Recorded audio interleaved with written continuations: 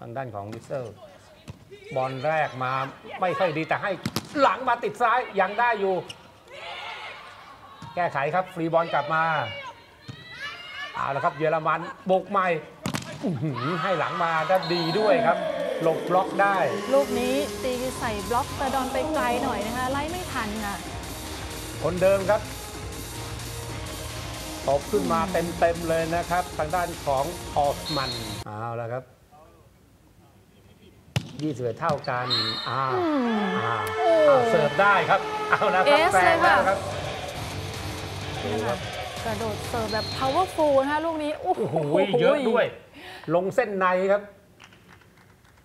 โอ้โห เราเสิร์ฟอย่างนี้ครับ ออร์ธมันน์บอลแรกก็เสีย โอ้โห ace อีกแล้วมากินอะเสิร์ฟอย่างเดียวเลยครับ โอ้โห มาได้ลูกเสิร์ฟนะคะ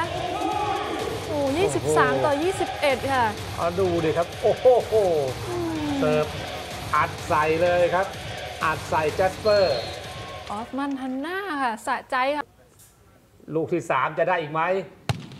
อัดอีกแล้วครับเอาละครับ ตั้งหลักมาหยอดเยอรมันรู้แล้วครับ มาหลังมาครับตกโอ้โห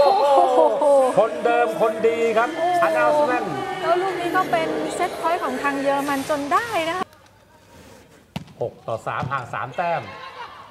บอลเร็วติด ยังกลับมาได้ครับ เอาคืนแล้วครับ นอนเลยมาตบโอ้โหเน้นๆเลยครับ ลูกนี้คนเดิมครับโอ้ออร์ธมันน์นะคะออร์ธมันน์โอ้ท่าทางเอาเรื่องแล้วออสน่ามันจะเหลือบล็อกคนเดียวบล็อกไม่ถึงโอ้ด้วยยอะบล็อกได้ยังไงครับอยู่ห่างขนาดนั้นหลอกสวยครับลูกนี้ยังครับยังไม่ตายล้นโอ้โห